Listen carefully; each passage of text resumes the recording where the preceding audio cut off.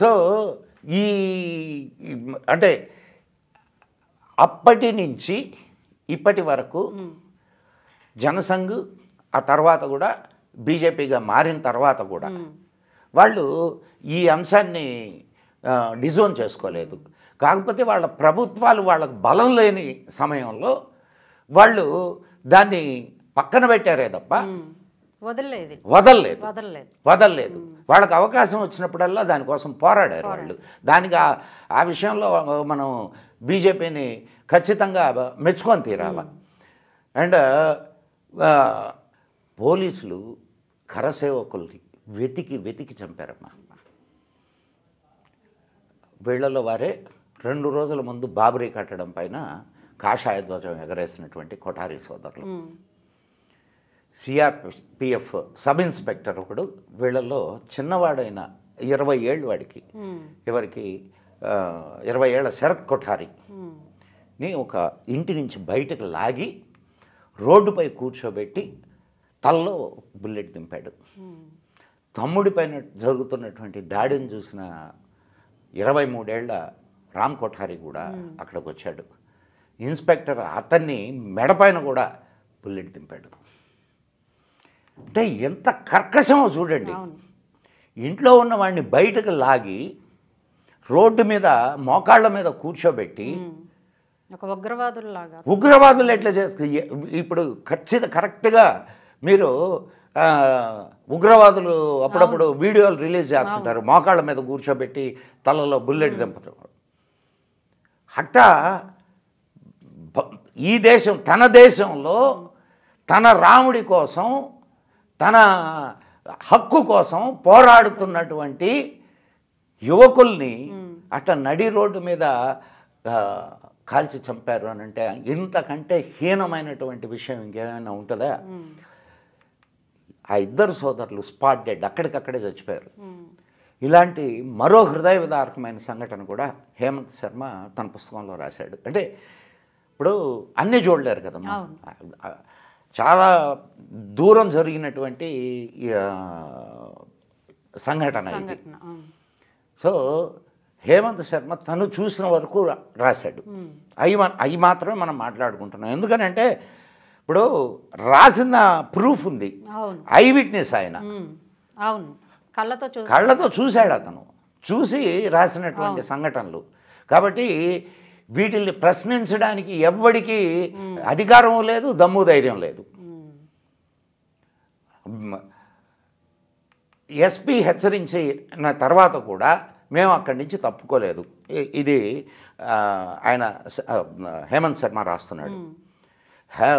SP హెచ్చరించిన తర్వాత కూడా మేము అక్కడి నుంచి తప్పుకోలేదు. మేము అక్కడే ఉండడం వల్ల పోలీసులు అరాచకం కొంచెం తగ్గుతుంది అనుకున్నాం. కానీ అలా జరగలేదు. ఇప్పుడు విలేకరులు ఉన్నారు అని అంటే కొంచెం భయపడతారు కదా అరే కెమెరాలు ఉన్నాయి విలేకరులు ఉన్నారు మనం కొంచెం జాగ్రత్త అట్లాంటిది కూడా ఏం లేదు. అంటే వాళ్ళకు ఎటువంటి ఆర్డర్లు ఇవ్వబడ్డాయి అనే దాన్ని దాన్ని మీరు ఊహించుకోవచ్చు. కానీ అలా జరగలేదు. ఒక కరసేవకుడు గుండు తగలగానే నేల మీద పడ్డాడు. అతను కొస ప్రాణంతో కొట్టుకుంటూ నేల మీద తన రక్తంతో సీతారాం అని వ్రాశాడు. అది అతని పేరో లేక చివరి క్షణాల్లో భగవంతుని స్మరించాడో కూడా తెలియదు. మనకు గాంధీని కాల్చినప్పుడు హే రామ్ అంట పడిపోయాడు హే రామ్. అనలేదు ఏమనలేదు అక్కడ ఉన్న ప్రత్యక్ష సాక్షులు తర్వాత రాశారు. అది ఒక ఏది? భావోద్వేగాన్ని రెచ్చగొట్టడానికి అది సృష్టించాడు. అంటే అది, గాంధీ చచ్చిపోతా హే రామ్ అంటూ చచ్చాడని. అది నిజం కాదైతే. నిజం కాదమ్మా నిజం కాదు. మీరు ఈయన వాంగ్మూలం ఉంది. కోర్టులో ఇచ్చిన వాంగ్మూలం. ఎవరు? గాడ్సే కోర్టులో ఇచ్చిన వాంగ్మూలం ఉంది. అది చదవండి తెలుస్తుంది మీకు. ఆయన రాసిన పుస్తకం ఒకటి ఉంది చిన్న పుస్తకం. నా మరణ వాంగ్మూలం అని ఒక పుస్తకం రాశాడు.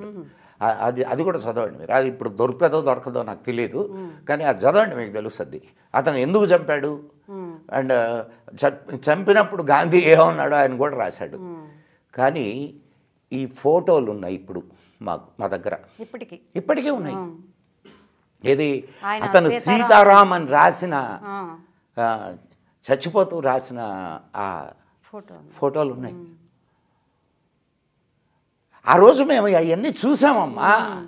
ఆ ఫోటోలు చూసాము. ఆ- అక్కడ జరిగినటువంటి. దమనకాండ మేము చూసాము. అంటే కళ్ళతో చూడలేదు. ఆ తర్వాత మాకు సీడీలు ఫోటోలు ఇవన్నీ కూడా మాకు వచ్చినాయి.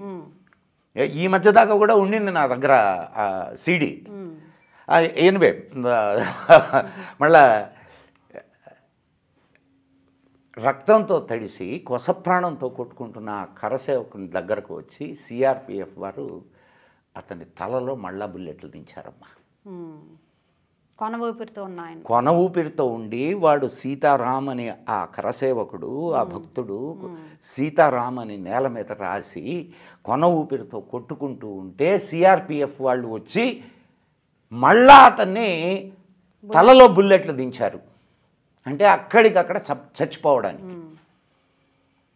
ఇంత దారుణం ఏదైనా ఉంటుందమ్మా? అంటే ఈ సంఘటనలు చూసి మిగతా వారు భయపడి వెళ్ళిపోతారన్న ఉద్దేశమా అప్పటి ప్రభుత్వానికి కాదమ్మా. ఇప్పుడు ఏదైనా కానీ నువ్వు కాశ్మీర్లో రాళ్ళు రువ్వే మూకల మీద కోర్టు సుప్రీం కోర్టు ఏం చెప్పింది తెలుసా? మీరు టియర్ గ్యాస్ వదలండి నీళ్ళు కొట్టండి అంతేగాని బుల్లెట్లు కొట్టబాకండి అని చెప్పి చెప్పింది. ఏమ్మా అక్కడ రాళ్ళు విసిరేటటువంటి వాళ్ళకంటే రామభజన చేసేటటువంటి వీళ్ళు ఎక్కువ దుర్మార్గం చేశారా. అవునా కాదమ్మా? ఇప్పుడు వాళ్ళ మీద సుప్రీంకోర్టు వాళ్ళకి మీరు వాళ్ళని చంపొద్దు వాళ్ళ మీద వాళ్ళని చెదరగొట్టండి. ఇక్కడ అదే పని చేయొచ్చుగా? ఇక్కడ ప్రాణాలు తీయాల్సిన అవసరం ఏమున్నది? పోనీ వాళ్ళు ఏమన్నా కూర్చొని రామభజన చేస్తున్నటువంటి వాళ్ళని ఇంట్లో ఉన్నటువంటి కరసేవకుల్ని బయటకు లాగి కొన ప్రాణంతో కొట్టుకుంటున్న వాడిని కూడా చంపితరే మీరు. ఇంతకంటే దారుణం ఉంటుందా? అతని తోటి వచ్చినటువంటి మరో కరసేవకుడు ఏడుస్తూ ఇద్దరం రాజస్థాన్లోని గంగానగర్ నుంచి వచ్చామని చెప్పారు. సిఆర్పిఎఫ్ జవాన్లపై రాక్షసత్వం తాండవిస్తుందని కూడా చెప్పలేము కొందరు సిఆర్పిఎఫ్ జవాన్లు వెక్కి వెక్కి ఏడవడం మేము చూసాం ఇలాంటి సంఘటనలు రావడానికి. మా ఎవరికైనా ఎవరికైనా కాదమ్మా. వాళ్ళు సిఆర్పిఎఫ్ వాళ్ళు ఎందుకు నియమించబడ్డారు? నీ దేశంలో రక్షణ నీ దేశపు ప్రజల్ని రక్షించడానికి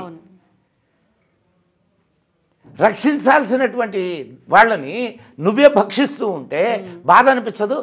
దానికి తోడు ఇప్పుడు ఏ పాపం తెలియని వాళ్ళని రామనామం చేస్తున్న వాళ్ళని అట్లా చంపుతూ ఉంటే నువ్వు ఎంత పోలీసు అయినా ఎంత అధికారి అయినా. ఎంత అధికారి అయినా ఎవరికైనా సరే కళ్ళలో నీళ్ళు వస్తాయి ఏడుస్తారు ఎందుకు? వాళ్ళు చేస్తున్నటువంటి ఉద్యోగం అది.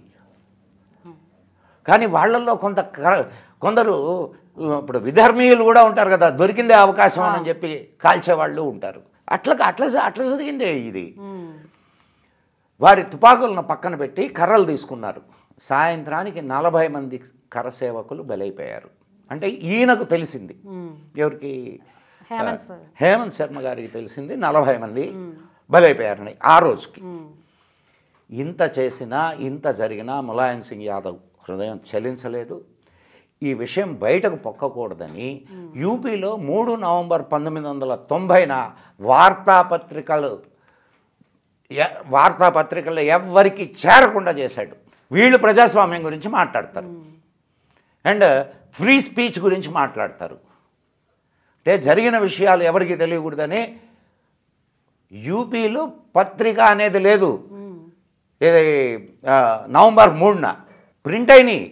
కానీ మూడవ తేదీన అంటే నవంబర్ మూడు పంతొమ్మిది వందల తొంభై ఫైజాబాద్లో మరో అద్భుతం జరిగింది.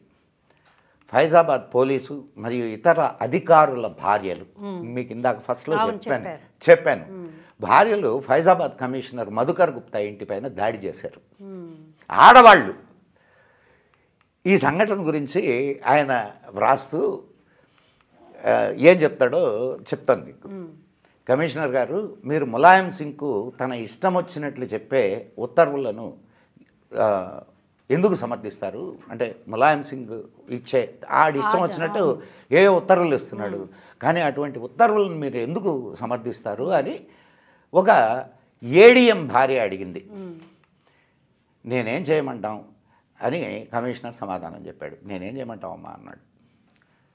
మీరు సంతులపై కాల్పులు జరపడాన్ని వ్యతిరేకించండి. ఆయన ఆదేశాలను పాటించడాన్ని వ్యతిరేకించండి అని మరో అధికారి భార్య చెప్పింది. ఇది ప్రభుత్వ ఆదేశం. మేము ఏమీ చేయలేము అని కమిషనర్ జవాబిచ్చాడు. అందుకు మరో అధికారి భార్య కోపంగా మీ కళ్ళకు కట్టుకున్న ప్రభుత్వ గంటలు తొలగించండి. మానవత్వం లేని పనులు చేస్తున్నారు మీరు. మీరు మీ భార్యపై కాల్పులు జరుపుతారా? మీ సొంత మనుషుల మీద మీరు కాల్పులు జరుపుతారా? అని ప్రశ్నించింది. కరసేవకులు బస్సుల్ని ధ్వంసం చేశారు అని కమిషనర్ జవాబిచ్చాడు. అందుకు మరో అధికారి భార్య ఏమని చెప్పిందంటే కోపంగా బస్సులు మరలా తయారు చేసుకోవచ్చు. నవమాసాలు మోసి కని పెంచిన తల్లులకు తమ బిడ్డలను బిడ్డలను నుదుటిన సింగ్ సింధూరాన్ని కోల్పోయినటువంటి భార్యలకు తిరిగి వారిని తెచ్చివ్వగలరా. అని ప్రశ్నించింది కమిషనర్ నోరెత్తలేదు మీరు లాఠీలు ఎందుకు ఉపయోగించలేదు ములాయం సింగ్ ఒక పక్షి కూడా వాలకూడదని చెప్పిన దానికి ఆయన ప్రాపకం కోసం నిరాయుధులపై కాల్పులు జరిపి వారి ప్రాణాలు తీశారు అని గట్టి గట్టిగా అరిచారు. ఆ రోజు అయోధ్యలో చాలా ఇళ్ళలో ఆహారం వండలేదు. మన ఇంట్లో ఎవరైనా చనిపోతే ఆ రోజు ఇంట్లో ఇంట్లో చనిపోతే ఆ రోజు వండరు. వాళ్ళకి ఆహారం ఎవరైనా బయట నుంచి తీసుకొచ్చి పెడతారు. అంటే వాళ్ళు తమ ఇళ్ళల్లో వాళ్ళు వారిని చనిపోయారు అన్న అంటే వాళ్ళ వాళ్ళ ఇళ్ళలో వాళ్ళు కాదు. కాదు కానీ రామసేవకులు తమ వాళ్ళు అనేటటువంటి ఒక భావన. చాలామంది అయోధ్యవాసులు కడిసిన తడిసిన కళ్ళతో ఊరేగింపు తీశారు. వారి చేతుల్లో జనరల్ డయర్లు కాకండి అని ప్లకార్డులు ఉన్నాయి జనరల్ డయ్యర్ ఆ రోజు ఎంత భయంకరమైన మానవ హననం చేశాడో. అయోధ్యలో కూడా ములాయం సింగ్ అంతే దానికి ఏమాత్రం తక్కువ కానీ మానవ హననాన్ని జయించాడు. వాడు వాడు చచ్చిపోయినా సరే వాడు చచ్చిపోయాడు ములాయం సింగ్. ఇది స్వతంత్ర భారత చరి చరిత్రలో జరిగినటువంటి మరో జలియన్ వాలాబాగ్. ఆనాటి నుంచి ములాయం సింగ్ యాదవ్ను మొల్లా ములాయం సింగ్ యాదవ్ అని పిలవడం మొదలుపెట్టారు. మొల్లా అంటే ఏంటి సార్ ముల్లా అంటే సాయిబుల ముస్లింల ప్రీస్ట్. వాళ్ళని ముల్లాలు అంటారు. ముల్లాలు మౌల్వీలు ఇమాములు. అమ్మ అందుకు వీడు వాళ్ళ కోసం కదా. కొటారి సోదరులను సరయీ నది ఒడ్డున దహనం చేశారు. అయోధ్య అంతా కొటారి బంధు అమర్ రహే అనే నినాదాలు మిన్నుముట్టాయి. బాబరీ కట్టడం పైన కషాయ కాషాయ ధ్వజాన్ని ఎగరే వేసినటువంటి ఈ అపూర్వ సోదరులు కలకత్తా నుండి అయోధ్యకు ఎలా వచ్చారు అనేది కూడా ఒక అద్భుతమైన కథనం.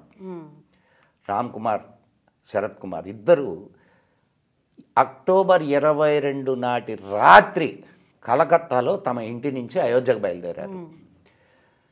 బనారస్ చేరుకుని బస్సుల కోసం చూస్తే ఏ బస్సు లేదు ఒక ట్యాక్సీలో కస్వే వరకు చేరుకున్నారు అక్కడి నుండి అయోధ్యకు రెండు వందల కిలోమీటర్లు. అయోధ్యకు వెళ్ళే దారులన్నీ మూసేయబడ్డాయి. చెప్పాను కదా మమ్మల్ని కూడా ఒక ముప్పై ఆరు కిలోమీటర్ల దూరం మేము చాలా అప్పటికి ఒక ముప్పై కిలోమీటర్లు నడిచాం. మీరు కూడా. మేము కూడా. నడిచాము ముప్పై ఆరు కిలోమీటర్ల దూరంలో మమ్మల్ని గ్రామస్తులు ఆపారు. అక్కడ పోలీసులు కదా గ్రామస్తులు ఆపారు అక్కడ చాలా గందరగోళంగా జరుగుతున్నది. అక్కడ వద్దయ్యా మీరు పోవద్దని చెప్పి వాళ్ళు ఆపారు. ఒకసారి పోలీసులు ఆపారు ఒక ఒకసారి గ్రామస్తులు ఆపారు. వాళ్ళు మా మీద ప్రేమతోనే కానీ ప్రేమతో అభిమానంతోనే తప్ప వేరే ఉద్దేశం కాదు. రెండు వందల కిలోమీటర్లు ఈ సోదరులు కాలినడకన ముప్పై అక్టోబర్ నాటికే అయోధ్య చేరుకున్నారమ్మా. కేవలం దేవుడి సేవ కోసమే వచ్చారు వాళ్ళు. కాకపోతే ఇంకెందుకమ్మా. ఇప్పుడు కరసేవ చేయడం అంటే దేవుడికి సేవ చేసేటటువంటి ఉద్దేశంతో కలకత్తా నుంచి వచ్చారు వాళ్ళు. ఇంక వేరే ఉద్దేశాలు ఏముంటాయమ్మా? ఇప్పుడు అయోధ్యకి ఇక్కడి నుంచి కరసేవకులం వెళ్ళాం. ఇంక మాకు వేరే ఉద్దేశం ఏముంటుంది? అక్కడ రామ మందిరాన్ని నిర్మాణం చేయాలా అని ఒక గట్టి సంకల్పం తప్ప వేరే ఇంకొక ఉద్దేశమే లేదు మాకు. పోనీ అయోధ్యలో ఉండే వాళ్ళని ఎవరినైనా ఒక్క తర్వాత పంతొమ్మిది వందల తొంభై రెండులో కూడా జరిగింది కదా? ఇది కరసేవ? అప్పుడు కానీ పంతొమ్మిది వందల తొంభైలో జరిగిన కరసేవ నాడు కానీ ఒక్కరిని అయినా సరే. అయోధ్యలో లేదా చుట్టుపక్కల కరసేవకులు హింసించారు కరసేవకులు కొట్టారు కరసేవకులు తిట్టారు అనే ఒక్క సంఘటన నాకు చూపించండి. అంటే దాని అర్థం ఏమిటి వాళ్ళు ఏదో కొట్టడానికి తిట్టడానికి కాదు వాళ్ళు వచ్చింది వాళ్ళు వచ్చింది అక్కడికి రామ మందిర రామ మందిర నిర్మాణాన్ని నిర్మాణం కోసం తాము కటిబద్ధులం అని చెప్పడానికి. నవంబర్ రెండవ తారీఖున ఆ గుమ్మటాల మీద ఈ ఇద్దరు సోదరులతో పాటుగా ఇంకొంతమంది కలిసి కాషాయ ధ్వజాన్ని ఎగరవేశారు. ఈ కాషాయ ధ్వజాన్ని ఎగరవేసిన నేరానికి వాళ్ళు అసువులు బాశారు. కానీ వాళ్ళు అసువులు బాసినప్పటికీ రామ రాముడి మందిరం అక్కడ ఉన్నంత వరకు వాళ్ళు వాళ్ళు కూడా చిరస్థాయిగా నిలిచిపోతారు. తర్వాత కొఠారి సోదరులు శేఠారాం మాలి రమేష్ కుమార్ మహావీర్ ప్రసాద్ రమేష్ పాండే సంజయ్ కుమార్ ప్రొఫెసర్ మహేంద్రనాథ్ ఝా మహేంద్రనాథ్ అరోరా రాజేంద్ర థార్కర్ బాబులాల్ తివారీ అలాంటి కరసేవకులు చంపబడ్డారు. ఇంకా చాలామంది ఉన్నారు. నేను మీకు కొంతమంది పేర్లు మాత్రమే మూడు వందల మంది చంపబడ్డారు. కానీ అధికారిక లెక్కల్లో ఐదు మంది మాత్రమే చంపబడ్డారండి. అధికారిక లెక్కలు చెప్తున్నాయి. మరి అప్పుడు వాళ్ళ ఫ్యామిలీలు కుటుంబాలు వాళ్ళు ఏమీ చేయలేదా? ఏం చేస్తారమ్మా? ఏం చేస్తారు? అప్పుడున్న పరిస్థితుల్లో చేయలేకపోయారు ఇప్పుడు ఇప్పుడు కూడా మనం ఏం చేయగలం? ఇప్పుడు వెళ్ళిన వాళ్ళని తీసుకురాలేము. కానీ వాళ్ళ త్యాగాలను మాత్రం మనం స్మరించుకోగలం. కాబట్టి ఇన్ని త్యాగాలు చేస్తే మనకు రామ మందిరం సాకారమైంది. సాకారమైంది. రేపు ఇరవై రెండవ తారీఖున అక్కడ శ్రీరామచంద్రుడు బాలరామచంద్రుడు ప్రాణ ప్రతిష్టకు ఆ, ఏర్పాట్లు జరుగుతున్నాయి. ఆ శుభ సందర్భాన్ని పురస్కరించుకొని వీళ్ళందరినీ మనం తలుచుకుంటూ మనం ఆ శుభ ఆ కళ్యాణ గడియ కోసం ఎదురు చూద్దాం. जय हिंद जय माँ भारती जय श्री राम